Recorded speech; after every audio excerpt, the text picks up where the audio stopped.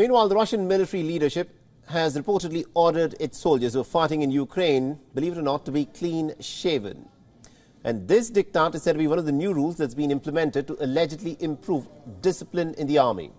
However, it's been met with derision from the Chechen and also the Wagner mercenary group leaders. General Valery Gerasimov is Russia's chief of the general staff and the newly appointed commander in Ukraine, and he's reportedly been trying to clamp down on non-regulation uniform.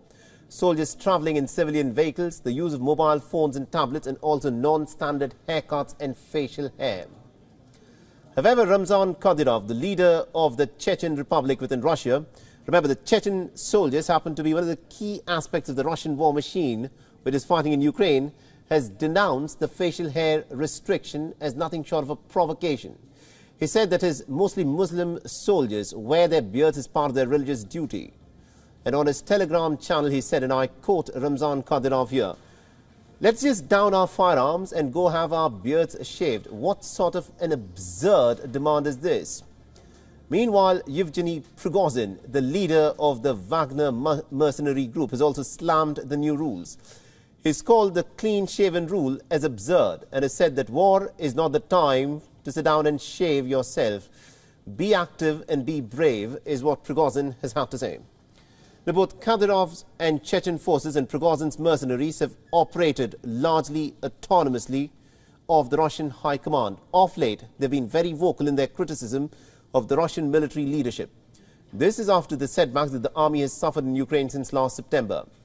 In their latest intelligence update on Ukraine, the British Ministry of Defense has said that Gerasimov and the Russian Defense Minister Sergei Shoigu are increasingly being seen as out of touch with the ground reality.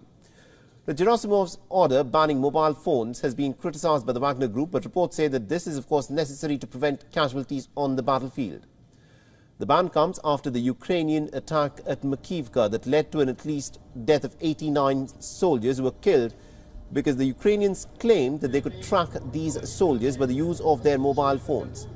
Moscow, of course, blamed the cell phones that they were used, that they were using, which gave away their coordinates. Reports also say that the beer diktat could be a way of testing their soldiers, that checking if the soldiers follow orders and shave is a way of ascertaining whether they would even follow some more riskier orders. This, of course, at this point of time is conjecture of what the Western media thinks is happening on the battleground. WION is now available in your country. Download the app now and get all the news on the move.